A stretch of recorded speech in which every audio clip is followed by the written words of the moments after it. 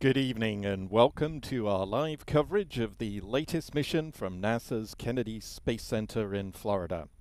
I'm Stephen Young and I'll be providing the commentary for tonight's broadcast. We've had a very busy day and uh, Will Robinson Smith is traveling as we speak and uh, our photographers uh, are getting some rest after a very busy day covering the third integrated test flight of the Starship vehicle at uh, Starbase in Texas. More on that in a bit, but you're uh, looking at a live view of uh, Space Launch uh, Launch Complex 39A at the Kennedy Space Center, where uh, the Falcon 9 is uh, sitting poised for launch.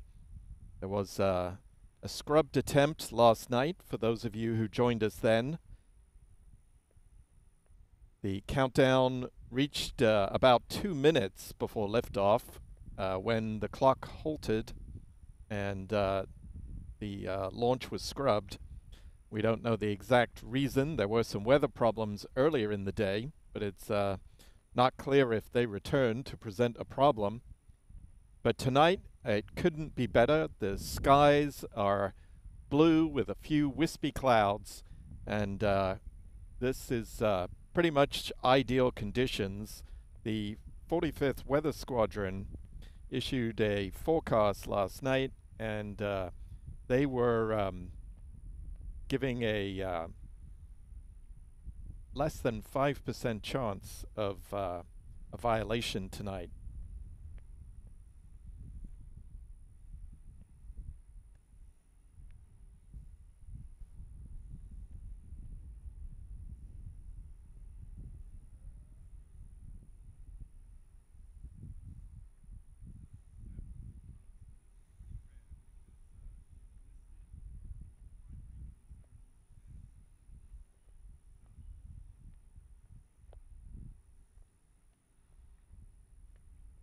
And that forecast from the 45th Weather Squadron really couldn't get any better. The primary concerns tonight are none. So uh, it's very rare that we see that. Usually uh, there's the odd chance of cumulus cloud that uh, they always uh, throw in there just to cover themselves.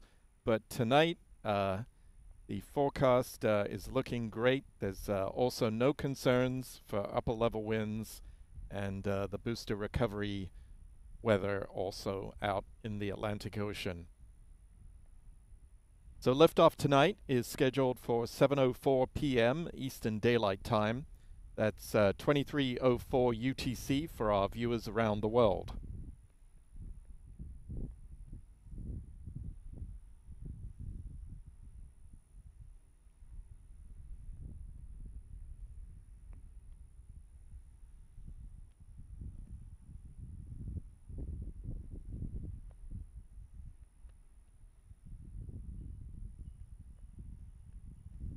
If you'd like to support our coverage of the space program, please hit the like button and click subscribe so you get notifications when new videos are posted and you won't miss any of our live streams. Please also share this stream. It helps more people find our coverage and everything else going on with our channel. We can't do these launch broadcasts without the support of our members and viewers. We'd like to thank everyone who's made a contribution to help fund our coverage.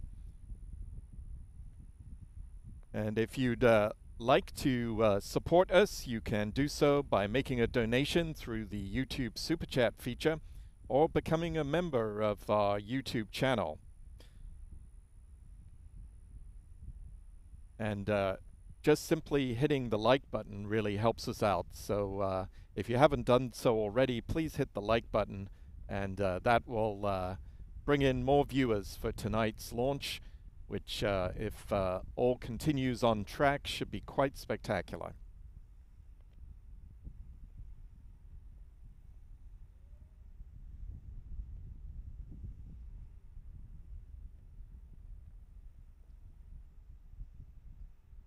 We're about 15 minutes away from the point by which the launch director will have given their go, no go decision for the start of propellant load for tonight's launch. If you haven't joined us for one of these broadcasts recently, uh, we do not receive mission audio from SpaceX any longer.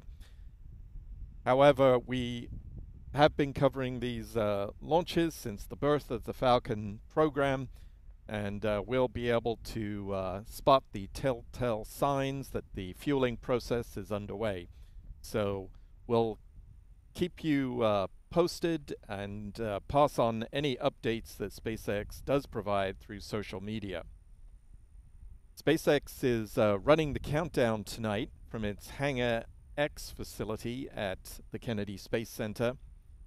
That's uh, also the location where they refurbish the Falcon 9 boosters and uh, prepare them for flight. There's also a separate building there where the processing of the Starlink satellites takes place. And they're uh, encapsulated in their payload fairings at uh, that site. SpaceX will also have support for this launch from their control rooms at their headquarters in Hawthorne, California. Once again, tonight's launch is targeting liftoff at 7.04 p.m. Eastern Time. And uh, there'll be multiple backup opportunities uh, through the night. There's a four-hour window. Uh, hopefully uh, they don't need that because uh, it would be uh, really nice to see the, the Falcon 9 liftoff in these conditions as sunset approaches.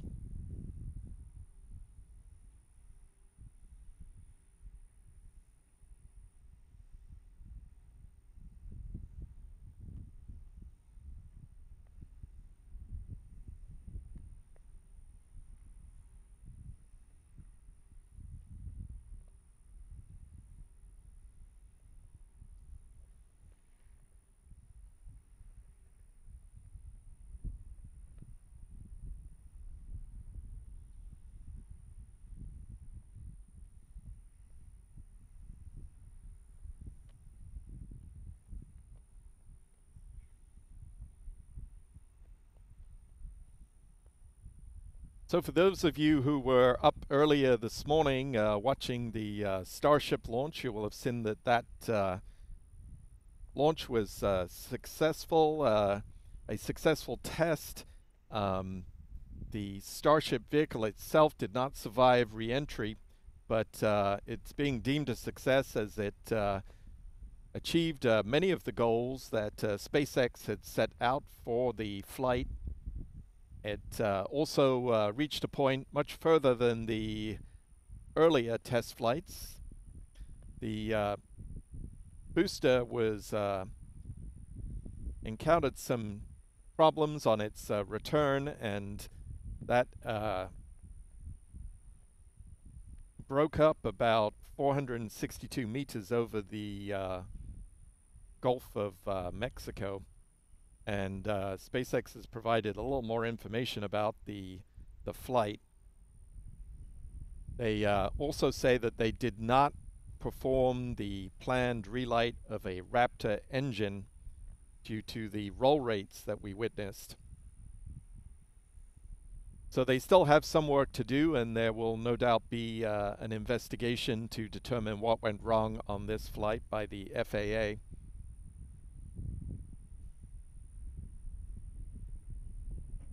Our photographer Adam Bernstein captured this uh, shot with a remote camera showing the liftoff of the Starship vehicle.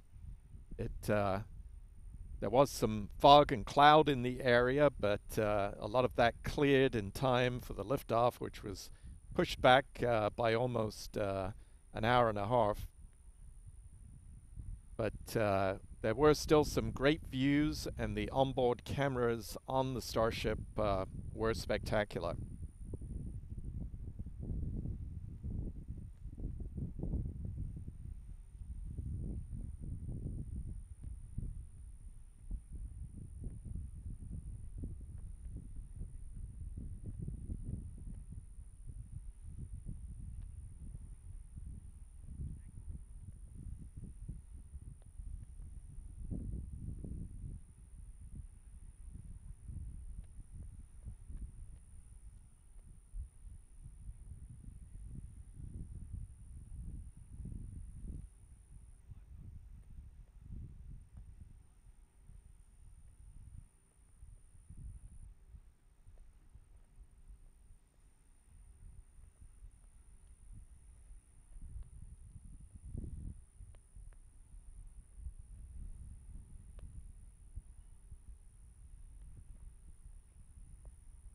So with the countdown clock at uh, T minus 47 minutes and 10 seconds, let's take a look at the events that are coming up on tonight's mission.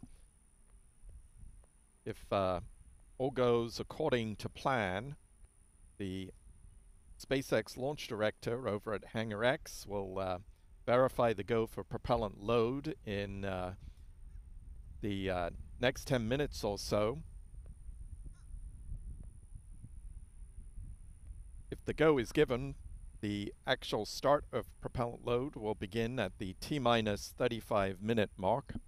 Kerosene will be loaded on the first and second stage, and liquid oxygen will be pumped aboard the first stage also.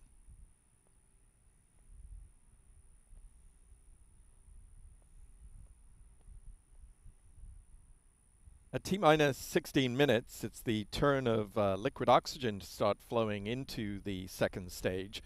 Prior to this, we'll see the so-called big vent from the strongback at the launch pad. This big cloud of vapor that streams away from the strongback uh, is uh, a sign of the feed lines being chilled down prior to that start of the loading of liquid oxygen on the upper stage of the vehicle. At T minus seven minutes, the chill down of the nine Merlin engines will get underway. This involves opening the pre-valves to allow a small amount of liquid oxygen through the plumbing and the turbo pumps. This is designed to protect the Merlin 1D engines from the risk of thermal shock and damage during the startup sequence. About six minutes prior to liftoff, the first stage kerosene tank should also be full. Then at T minus four and a half minutes, we'll see the strongback begin to retract from the Falcon 9 vehicle. It will recline to an angle of about one and a half degrees, leaning back ever so slightly from the Falcon 9. It will stay in that position until liftoff, then at ignition, that strongback will pull back in a more rapid fashion to clear the way for the vertical climb of the Falcon 9 from pad 39A. As we approach the final minute of the countdown, at about the T minus two minute mark, liquid oxygen loading should be complete. And the Falcon 9 will be carrying about 1 million pounds of propellant at 60 seconds, the control of the countdown will be handed over from the ground sequencer to the Falcon 9's onboard computers. The propellant tanks will be brought up to flight, and the launch director will give their final go for launch. T minus three seconds, the engine ignition command will be issued. If all nine of those first stage engines ignite and are performing as normal, the flight computer will give the command to release the hold down clamps and the Falcon 9 will lift off on this Starlink delivery mission.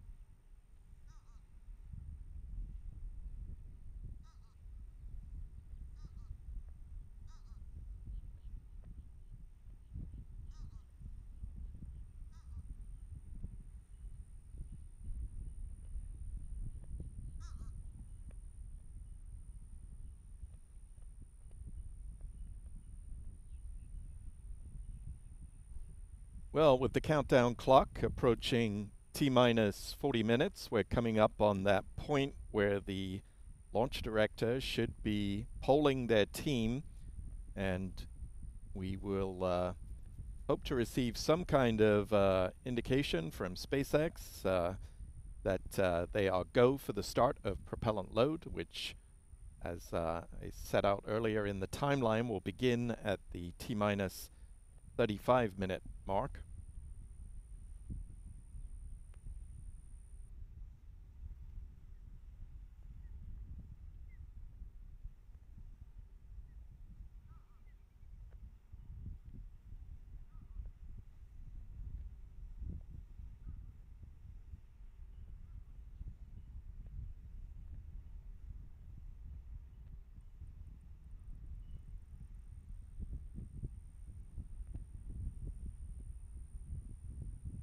While we uh, wait for word from SpaceX on the progress of the countdown, let's take a look at the trajectory that the Falcon 9 will take when it lifts off, hopefully in less than 40 minutes.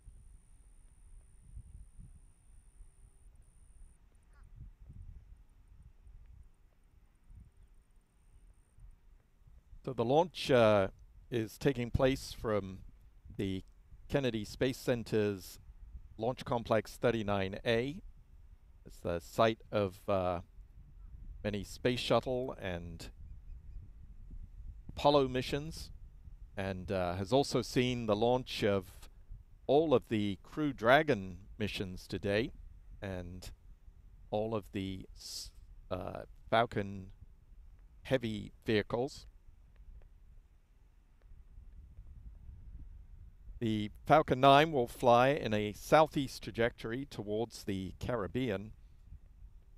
Following stage separation, the first stage will continue to coast downrange. There'll be a, a burn to slow its descent, the so-called entry burn, and uh, then uh, just a short while before touchdown, they'll it will fire its engines again for a landing burn.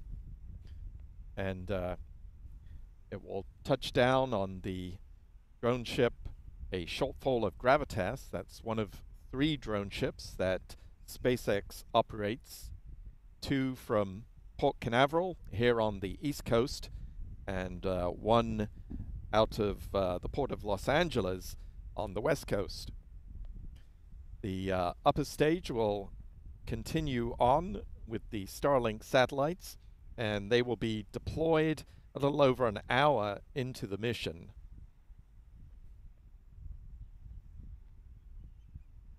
Meanwhile, the fairings for this uh, flight will uh, drop on uh, parachutes or parasails to the Atlantic Ocean where they will be recovered.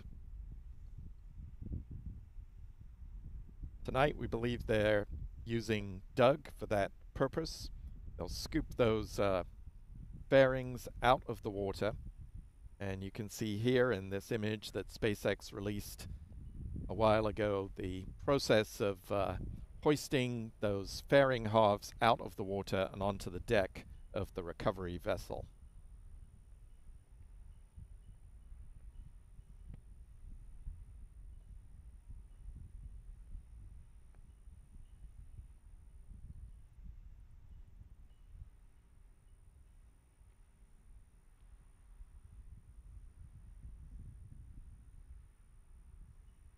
We're about a minute away from the point at which SpaceX should start loading propellants on the vehicle.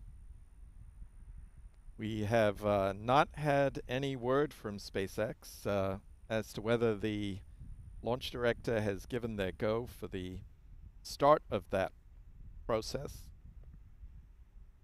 I suspect the uh, SpaceX team is still celebrating the uh, earlier flight of the Starship vehicle, so perhaps they'll be a little late bringing us an update, um, but we'll uh, stay tuned for that. We'll also keep an eye on the vehicle, and we should see signs of that fueling process getting underway if indeed they are proceeding with tonight's launch.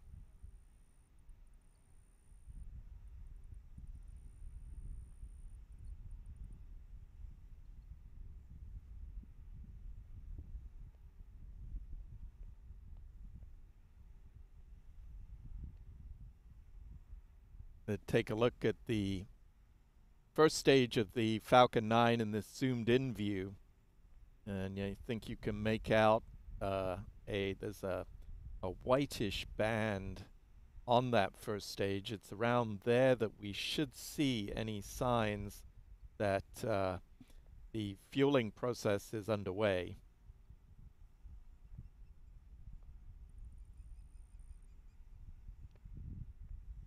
The supercold propellants chill down the fuselage of the first stage and that allows the uh, Florida humid air to condensate and create uh, frost and uh, vapor.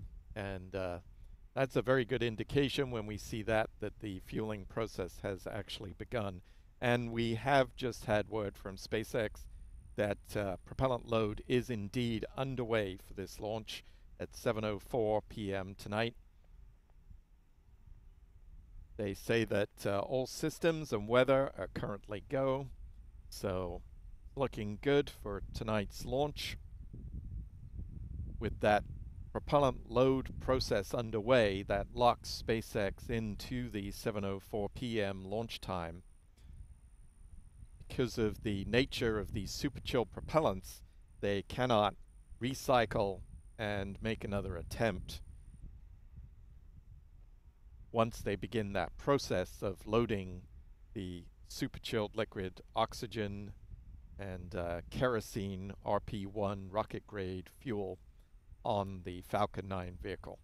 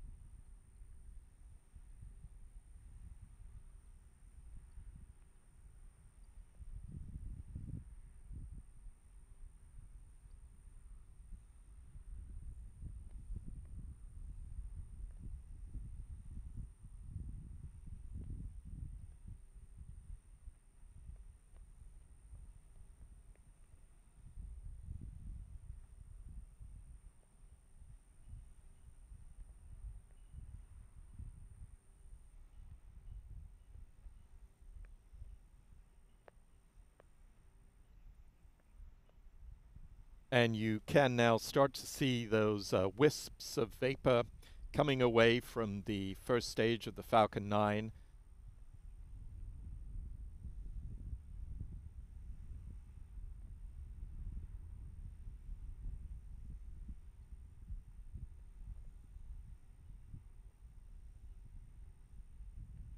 This is booster 1062, which is making its 19th flight. So you can see there's quite a buildup of soot on the first stage, and uh, that really uh, helps show up the uh, the white vapor from the condensation uh, as the uh, the warm Florida air hits that cold surface, which uh, is the outer layer of the tank, which is being filled with the super cold propellant, clearly visible now, and uh, that frost line will uh, serve as a handy fuel gauge for us. We'll gradually see that creep up the first stage of the vehicle, and that will uh, actually give us a pretty good indication of the amount of fuel actually inside the tanks as they uh, go through this process.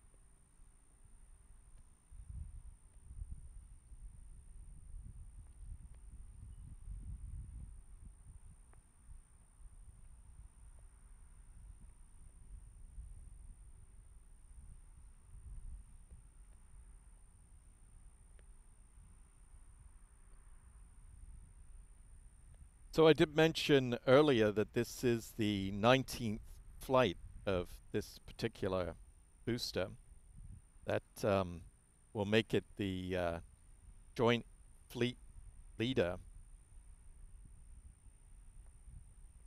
SpaceX had previously certified its uh, Falcon 9 rockets for 15 flights, um, but it is now broken through that barrier with uh, multiple vehicles. So this uh, this booster, booster 1062, will be joining 1058 and 1061, which uh, have also chalked up 19 flights to date. Unfortunately, uh, booster 1058 won't get to uh, see a 20th flight as uh, it uh, was destroyed uh, after it had successfully launched and landed, uh, but it was uh, on the drone ship uh, coming back into Port Canaveral when it hit high seas and high winds, and uh, the vehicle toppled over and unfortunately was lost at sea. Only the very base of the rocket was left attached to the octograbber on the drone ship deck.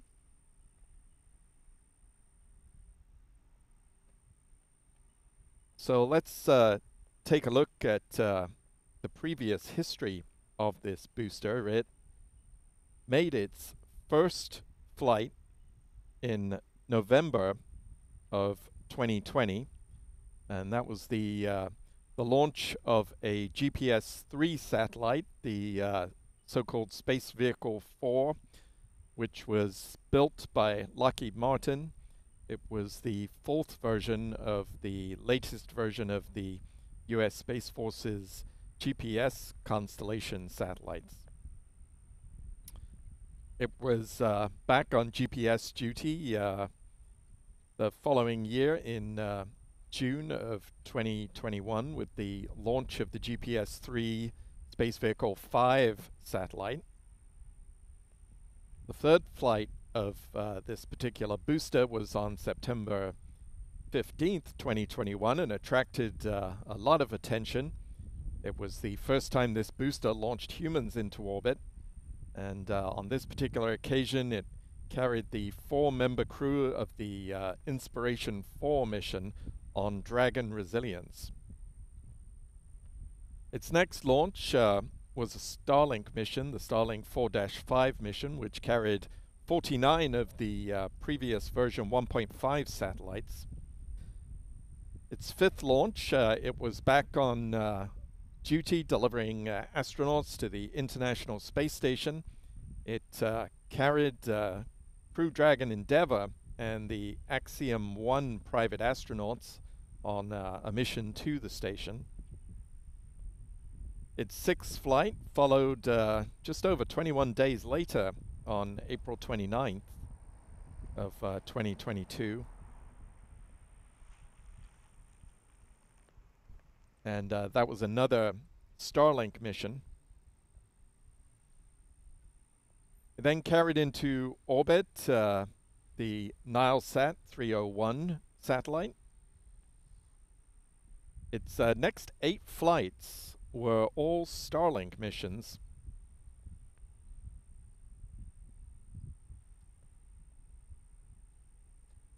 And then uh, it actually carried out a a launch for uh, one of the competing networks uh, that uh, another broadband internet from space service. It launched the OneWeb 17 mission carrying 40 of uh, that company's satellites. SpaceX had previously launched uh, two earlier missions for OneWeb. That company was originally planning to use the Russian Soyuz rocket to complete its constellation, but had to switch to alternative vehicles after the invasion of Ukraine.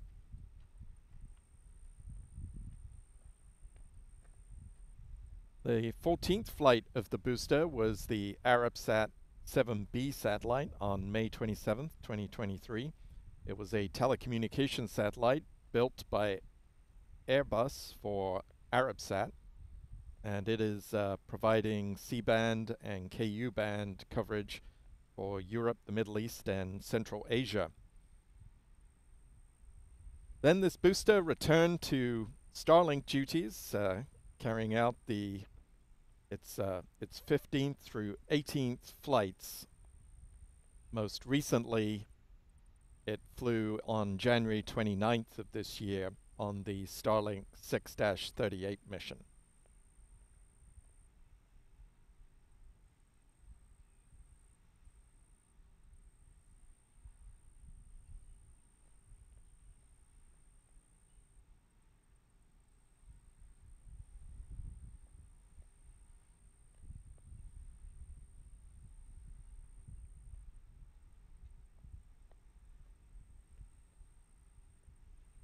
Can uh, really see the frost and vapor creeping up the outside of the Falcon 9 as the loading of liquid oxygen continues on the first stage. The second stage kerosene tank should be full by now. And uh, loading of kerosene also is continuing on the first stage of the Falcon 9 that process of uh, kerosene load will continue until about the six minute mark in the countdown. We're also coming up on the point where we'll see the so-called big vent. And that's uh, part of the process of chilling down the propellant lines that run up the strong back structure to the second stage a chill down process is necessary to prevent the propellant from boiling off uh, prior to the prior to the start of uh, second stage load.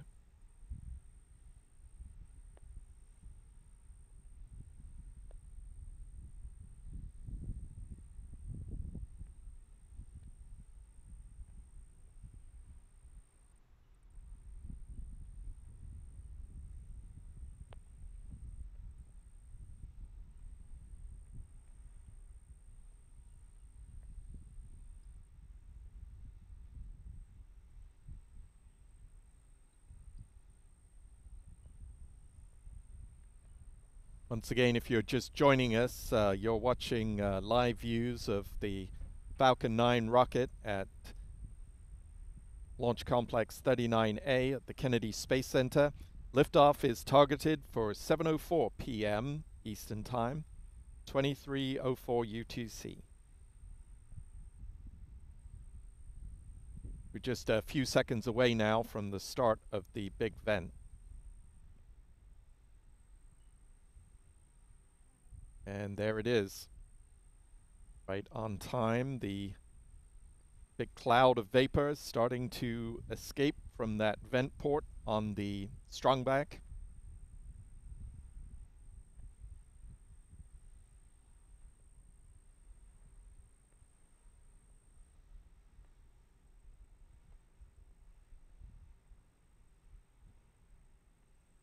The uh, winds here at the Space Center are uh, blowing in off the ocean uh, towards the west. So that uh, plume of vapor is uh, coming in our direction.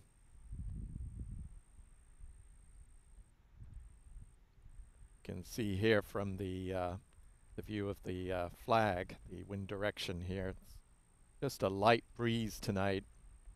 Beautiful conditions. Still some clouds in the area, but uh, very thin, lots of blue sky.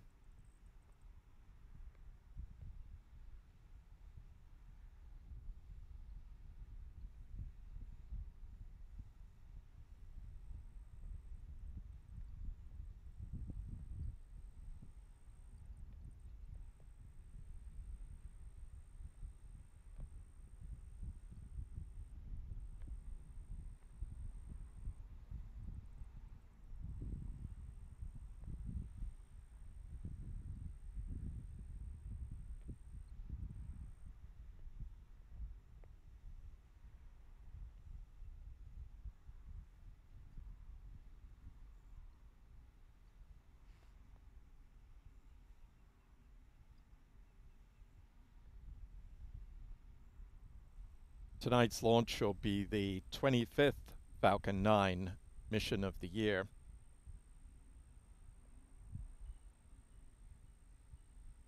If uh, everything goes as planned and it lifts off, it will be the 104th SpaceX orbital launch in the last 365 days. SpaceX uh, hoped to hit 100 launches last year. They fell short by just a few launches, and uh, this year they uh, have hopes of reaching uh, about 140 missions of the Falcon 9 vehicle.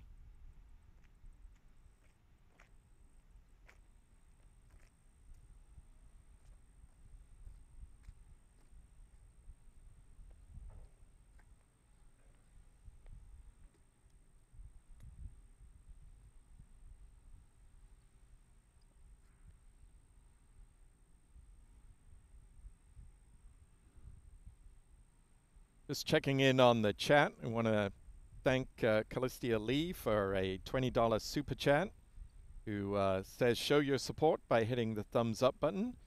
And uh, yes, that really does help us. So uh, please, if you haven't done so already, please give that like button a push. I'd also like to uh, thank uh, Jim Edgar for uh, also for a $20 super chat who uh, thanks us for the coverage and says he's been up since 4.30 a.m. Pacific time for the uh, Starship launch. I think uh, I think a lot of us are working on uh, on very little sleep at the moment. And uh, also want to thank uh, Dom's Astrophotography for a $2 super chat. Thank you so much. your contributions really help us bring you this coverage of uh, launches here at the Cape and uh, around the world. And uh, we're just seeing now the the big vent coming to an end. A cloud of vapor uh, just dissipating at the base of the uh, rocket there.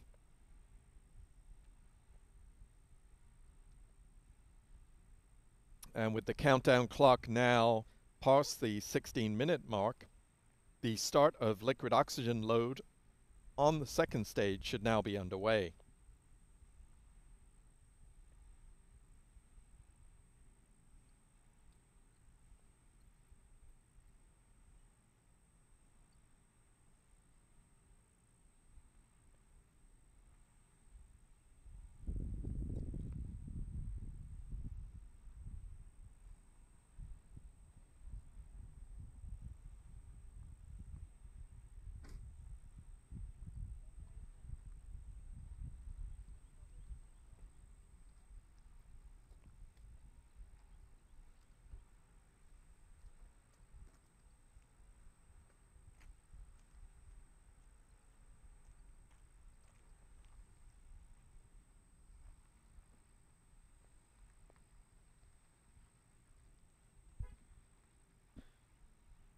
As we prepare to get into the final minutes of the countdown, let's uh, take a look at uh, the Falcon 9 rocket.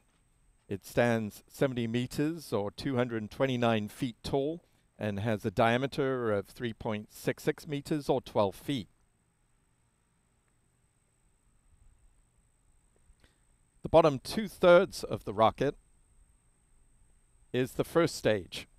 Today's first stage booster has flown 18 times before. It uh, is designated tail number 1062 in SpaceX's fleet.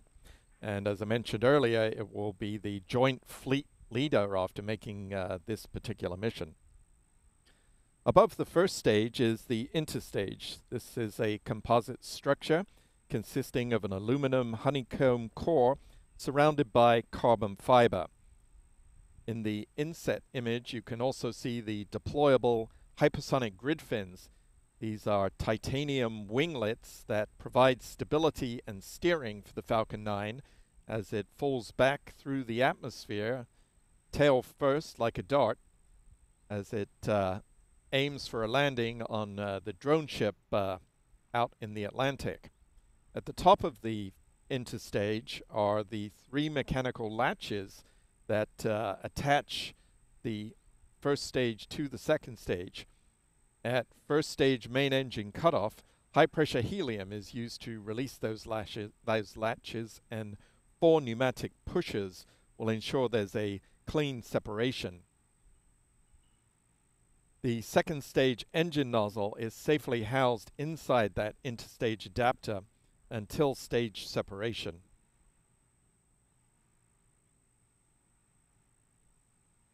And that upper stage is powered by a single modified Merlin engine called a Merlin vacuum engine or MVAC. It's uh, equipped with a large nozzle that is optimized for burns in the vacuum of space. It produces more than 200,000 pounds of thrust and will be fired twice on today's flight to place the 23 Starlink satellites into their intended orbit. That MVAC engine burns the same propellant mix, kerosene and liquid oxygen, as the first stage. It will ignite a third time after the deployment of the Starlink satellites, and that's a deorbit burn to drive the upper stage back into the atmosphere so it will burn up. And that eliminates the risk of creating any unnecessary space debris on this mission. At the very top of the rocket is the payload fairing containing the 23 satellites.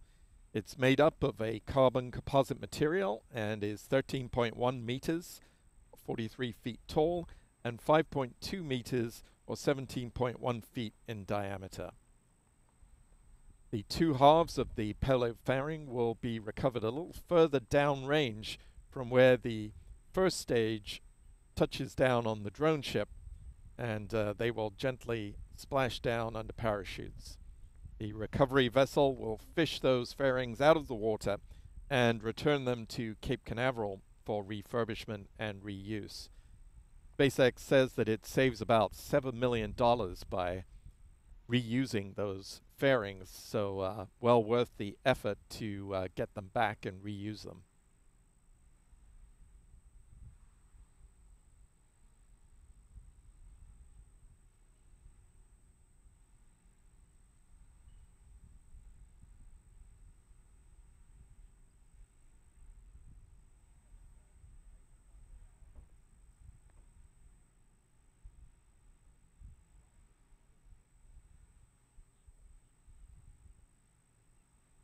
We're uh, now approaching the final 10 minutes of the countdown. We'll uh, be getting some tracking views from our friend Pete Costens, uh, who is located south of uh, the launch site. Should get a great view of that southern trajectory. And uh, currently, his uh, his big tracking rig is looking at the the moon uh, great views uh, in these uh, excellent conditions, so uh, this will give you a little taster of what to expect. Well, we're now under 10 minutes from the launch of the Falcon 9. The loading of liquid oxygen is underway on both the first and second stages. The kerosene load is complete on the second stage and is continuing on the first stage for a few more minutes.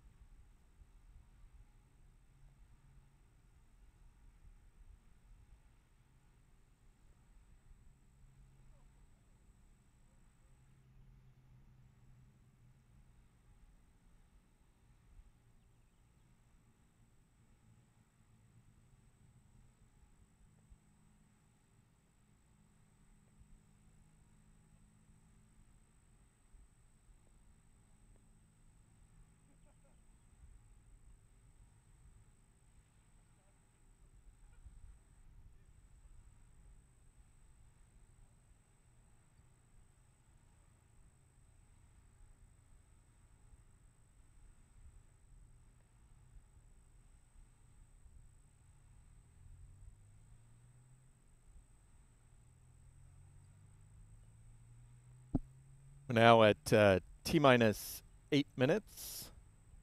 The uh, conditions remain great for tonight's launch.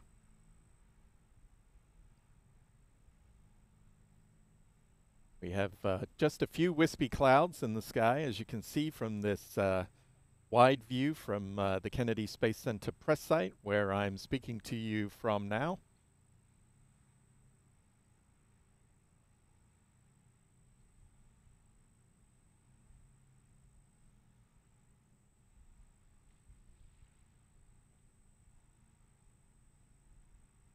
As I mentioned uh, earlier, we are uh, a little challenged with uh, so many of our people traveling or at Starbase. So uh, I'll be uh, not only performing the commentary, but switching the video and operating the cameras. So I may not be providing as much commentary as you're used to, but I will do my best to bring you the best coverage of this launch.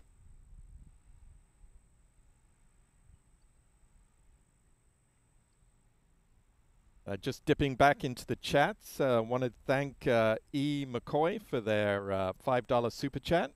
Also, uh, Cloud Straff, who's gifted five Spaceflight Now memberships, and Astro Joe, one of our great moderators, uh, who's also gifted a membership. So if you've received a membership, please give them thanks in the chat. And if you haven't done so already, please hit that like button. That really helps us out.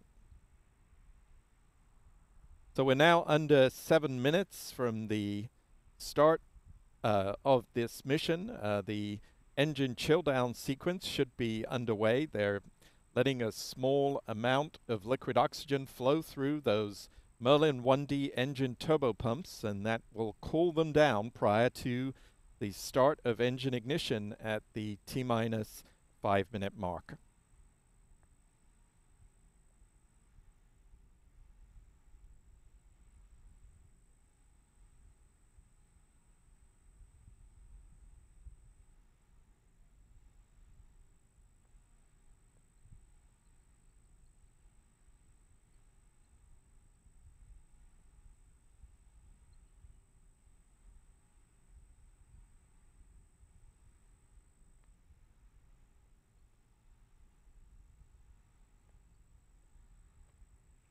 We'll also be getting uh, video from SpaceX very soon and audio as well.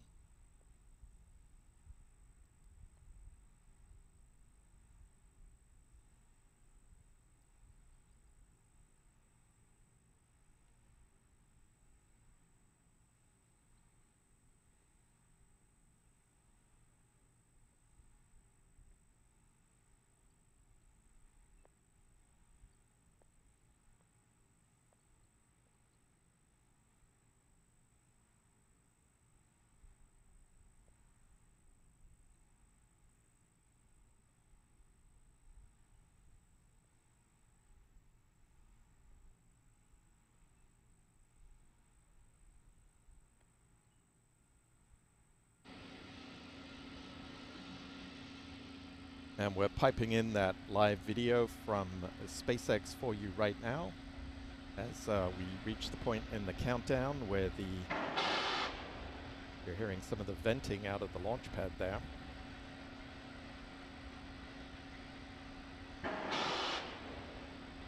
Strong back retract has started.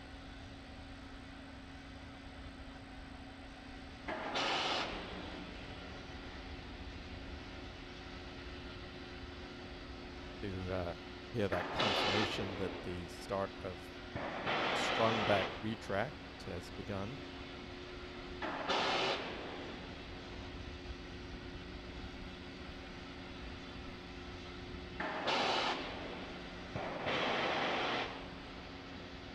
That strong back, uh, as I explained earlier, will um, the process of uh, retracting it will begin with the opening of the clamp arms, which have been wrapped around the vehicle and providing some stability and uh, it will uh, track to an angle of about 1.5 degrees.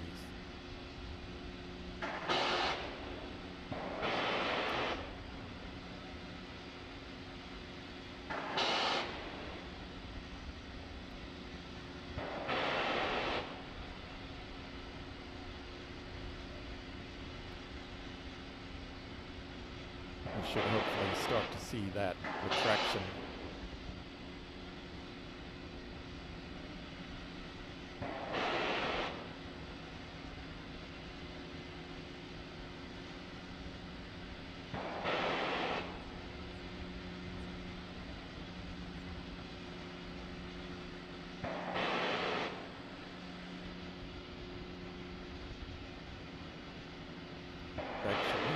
not clear to me that that strong back retract.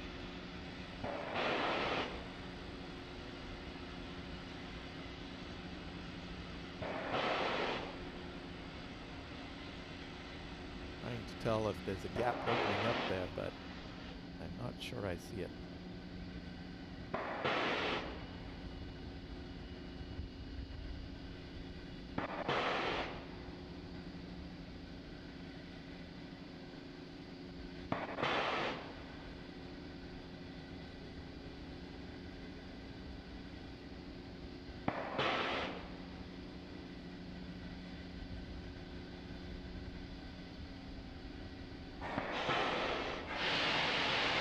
Fox 4 is running. And there we hear confirmation that SpaceX has called an abort. Uh, we didn't see the retraction of the strongback structure at the launch pad. We would normally see the opening of the clamp arms. We did not see that. There we see on the screen SpaceX confirming the uh, countdown has uh, halted. Very similar state of affairs as uh, we saw yesterday. It may be that the, although, although the actual abort was not called until much later in the countdown, uh, it did appear that things started to go off track around the time that the strongback structure was supposed to pull away from the vehicle. Uh, we did not see doesn't appear that those clamp arms opened up.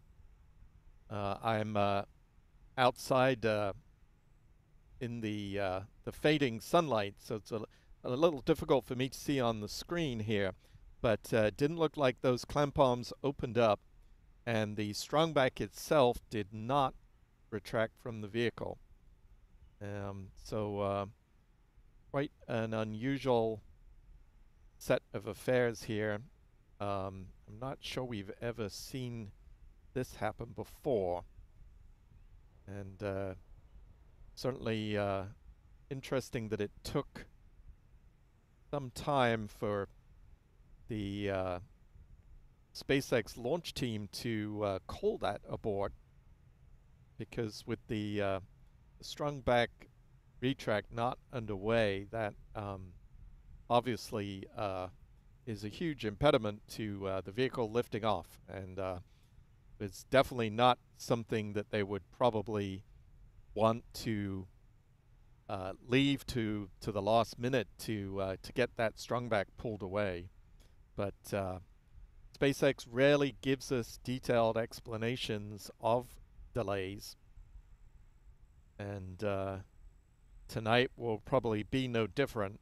Um, but we can safely report what we're seeing with our own eyes here. And uh, it uh, definitely looked like something was already uh, going off course at, uh, at about that uh, four and a half minute mark when the clamp arms should have started opening on the strongback.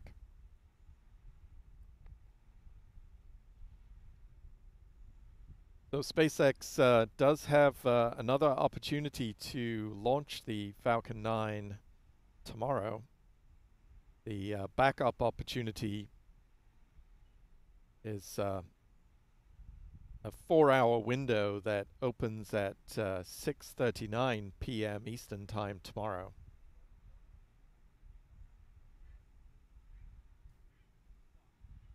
So another uh, disappointing night for the Falcon 9 team, uh, who were hoping to add to SpaceX's day uh, with uh, another launch following the Starship test flight earlier today.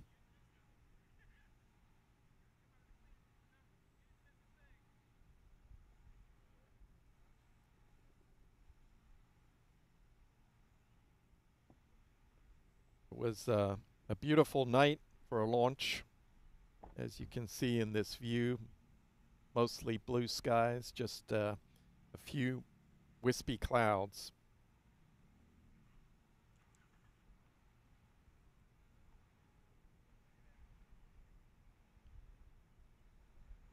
The uh, weather forecast for tomorrow is uh, still pretty good if uh, if they are able to target that backup opportunity. The 45th Weather Squadron uh, in their forecast that was issued late last night, they uh, gave the uh, chances of a liftoff at uh, at 90%, uh, uh, only a 10% chance that there would be a violation of the cumulus cloud rule and upper level winds and booster recovery conditions not expected to be a problem then.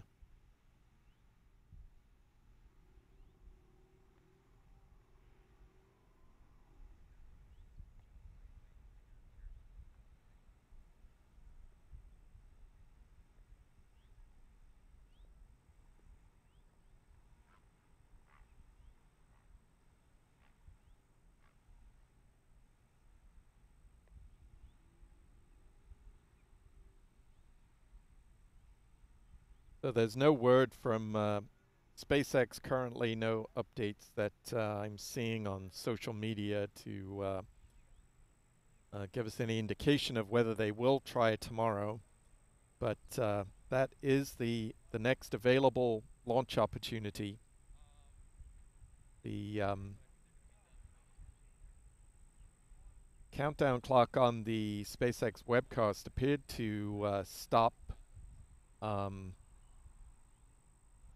or wind back to the T minus 4 minute and 16 second mark. So it may be that that is the point at which uh, there was uh, an issue. Um, but uh, we definitely did not see the retraction of the strong back. Um, so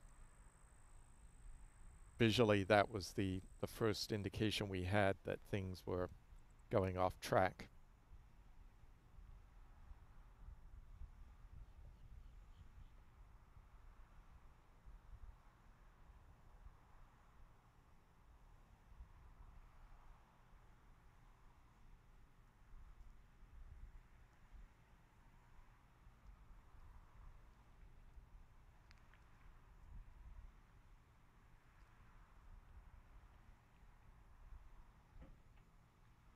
So uh, just returning to uh, the chat, um, want to thank uh, Ken Bear for uh, a uh, $5 super chat.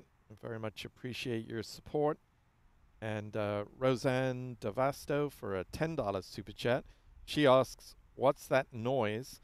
Um, I suspect you might be hearing a very loud air conditioning unit that is attached to the NASA television building here at Space Center, which uh, is uh, obviously in need of repair and uh, uh drones on day and night.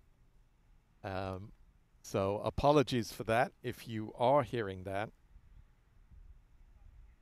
I'm uh, actually sitting outside the Spaceflight Now News Bureau at the Kennedy Space Center uh, this is the view from the camera just to the right of me. We're uh, looking out over the turn basin and uh, seeing the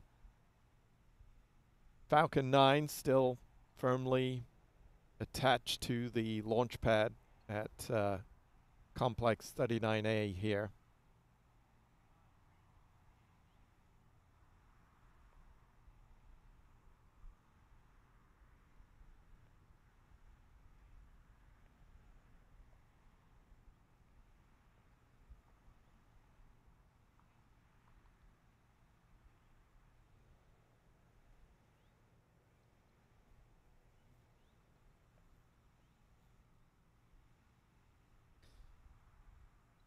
So, if you were just joining us and uh, hoping to see a Falcon 9 launch, liftoff was scheduled for 7:04 p.m. this evening, but uh, it appears that a problem occurred in the final five minutes of the countdown.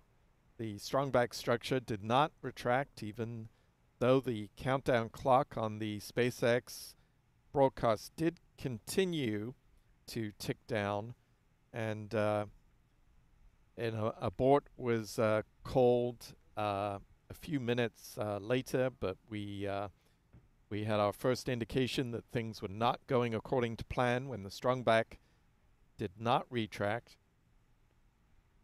Uh, that process begins about four and a half minutes before launch. The loading of propellants got underway 35 minutes prior to the planned T0. And uh, SpaceX uh, was uh, nearing the completion of the liquid oxygen load on both the first and second stages. The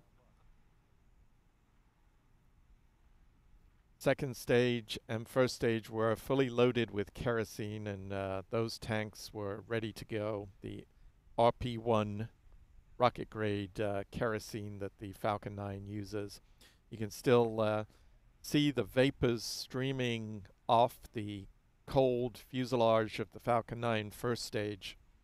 That first stage, which was uh, incredibly sooty earlier in the count before the start of that fueling process, now shrouded in uh, vapor as the warm Florida air comes into contact with that cold metal.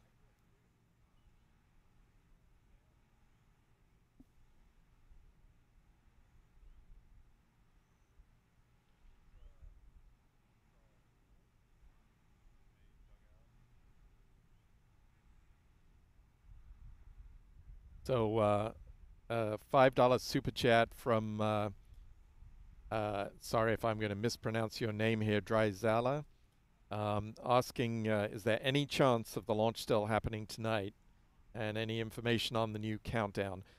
Uh, unfortunately, the the Falcon 9 uses these super chilled propellants. It allows SpaceX to pack in more of that propellant by densifying it and uh, that gives the Falcon 9 some additional performance, but it does mean that propellant has to be kept at the perfect temperature for lift. And uh, if uh, there's any delay in uh, that process, uh, it derails the whole launch. So we're um, not expecting to see them reschedule for tonight. They do have an opportunity to uh, try again tomorrow.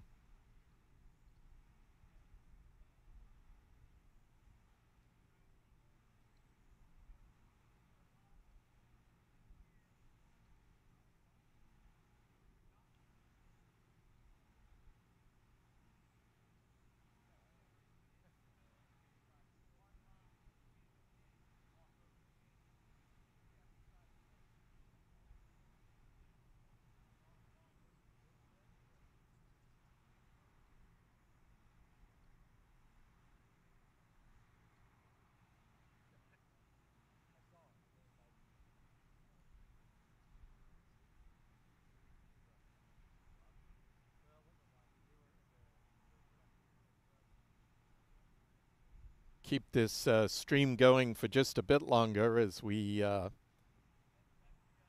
would like to bring you uh, any news that we receive from SpaceX on the reschedule if uh, they are indeed going to make another attempt tomorrow. Uh, so far, uh, not seeing any updates on social media from SpaceX.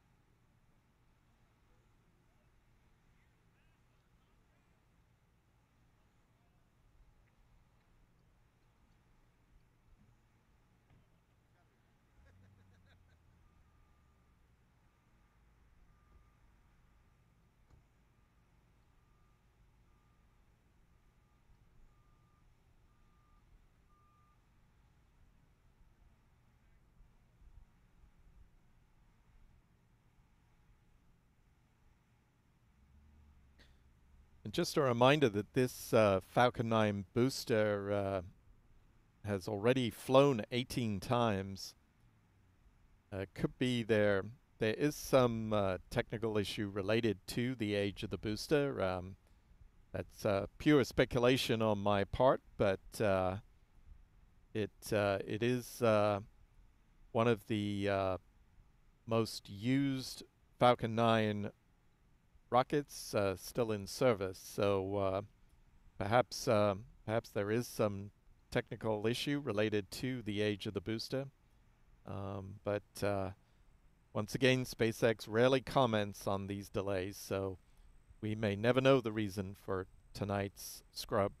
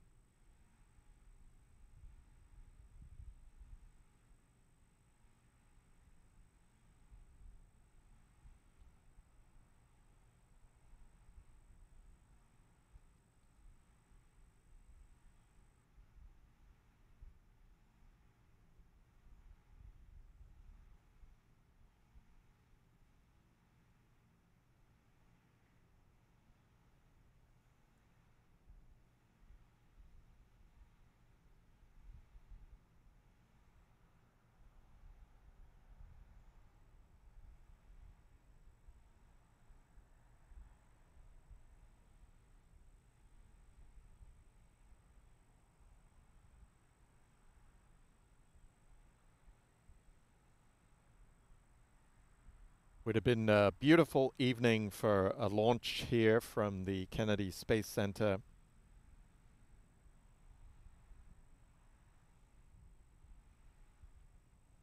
The uh, weather tomorrow uh, does look uh, very close to uh, conditions tonight. Just a slightly higher chance of uh, a uh, weather violation, but not by much tonight there was a less than 5% chance that weather would uh, affect tonight's launch. And uh, tomorrow, that percentage uh, is 10%. Uh, so, uh, still an excellent forecast for tomorrow if indeed SpaceX targets a launch tomorrow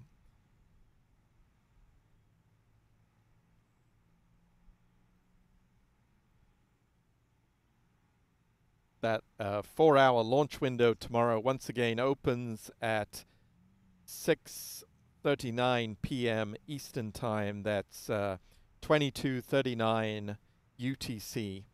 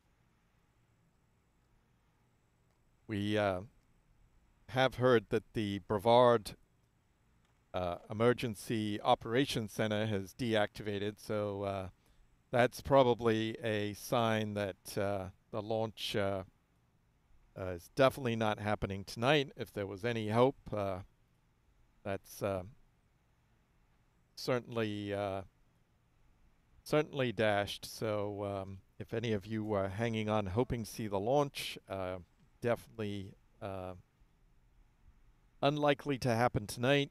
And um, we're uh, just waiting to see if SpaceX uh, reschedules for tomorrow night.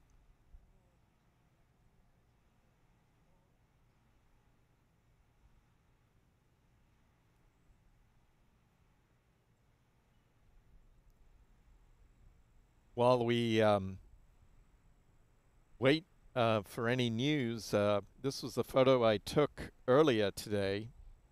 Um, a uh, Falcon 9 fairing heading out past the vehicle assembly building towards the launch pads. Uh, probably the next batch of Starlink satellites. Uh, we do think uh, following tonight's launch, the the next Starlink will also fly from 39A as uh, SpaceX is getting ready for the first flight of a second generation cargo dragon from uh, Space Launch Complex 40 over on uh, Cape Canaveral Space Force Station.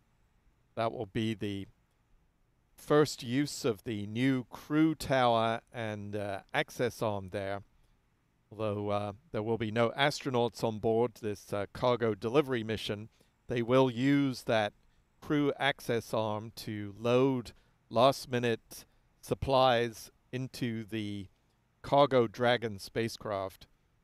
Uh, since uh, SpaceX uh, moved on to the second generation of Dragon vehicles, all of those launches have taken place from Pad 39A.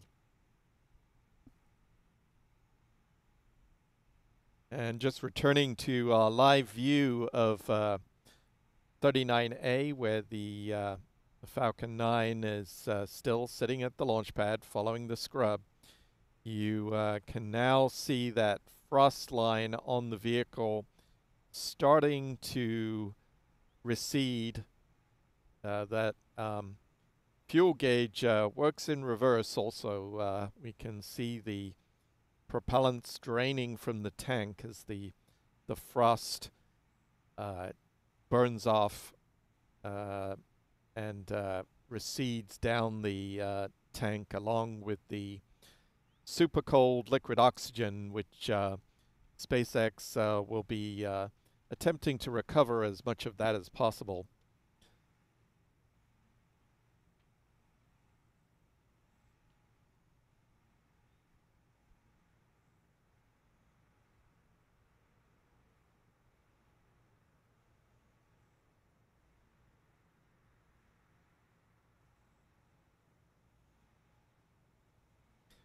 We're still not uh, seeing any updates from SpaceX. Um, usually, uh, if they're confident of 24-hour uh, turnaround following a scrub, they will uh, quite promptly update uh, with that information. Um, so not sure what we read into that, whether that means that perhaps they are still looking at whatever caused tonight's scrub before determining a new launch date. But that launch opportunity tomorrow once more opens at 6.39 p.m. Eastern Daylight Time. The four-hour launch window for the uh, Falcon 9 with its 23 Starlink satellites.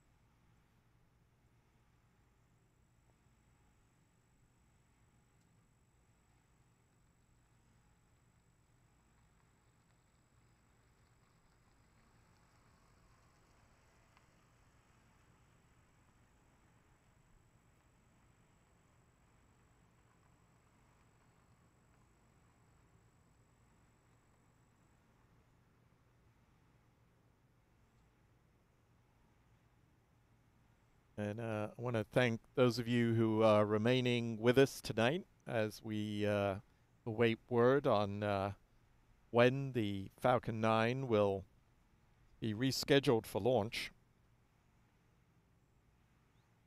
I want to thank uh, Chris Corderia for his uh, $2 super chat donation. Uh, much appreciated. Once again, all of that goes towards helping us cover these missions and goes towards uh, purchasing uh, new camera equipment and video equipment.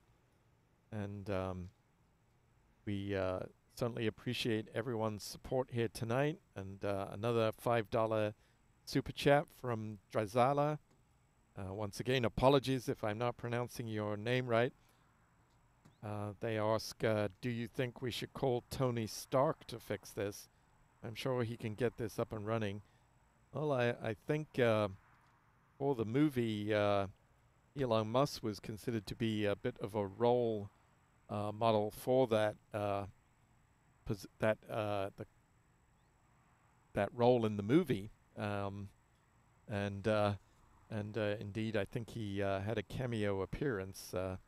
So maybe he's got a direct line to Tony Stark if he needs his help.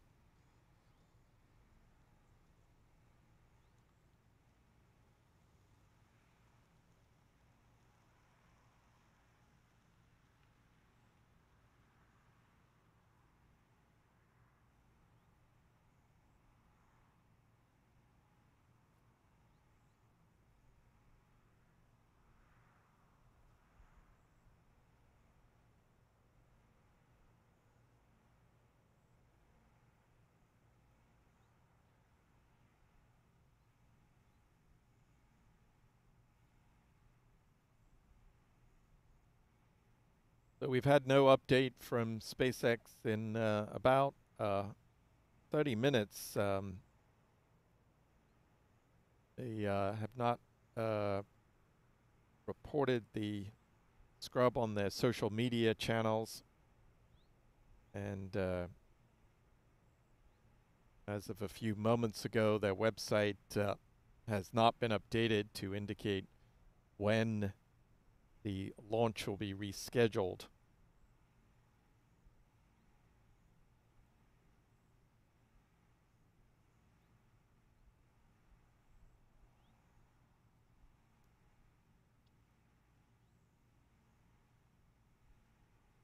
Once again, that scrub happened in the final five minutes of the countdown today.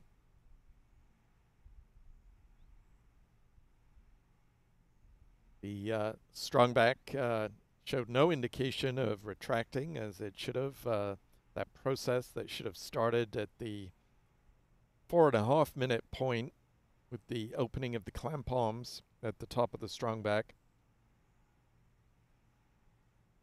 The actual abort didn't come for, um, seemed like a couple of minutes beyond that.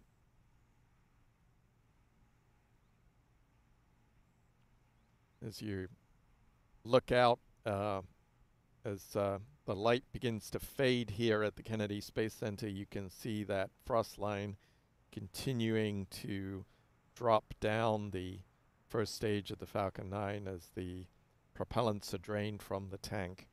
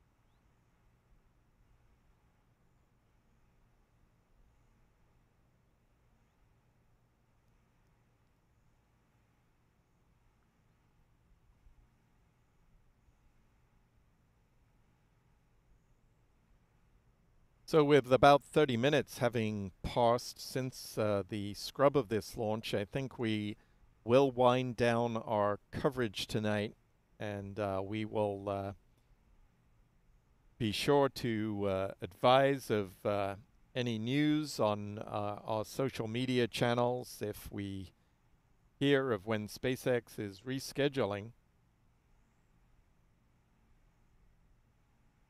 If they go for the next available opportunity, we will, of course, be back here tomorrow night to cover that.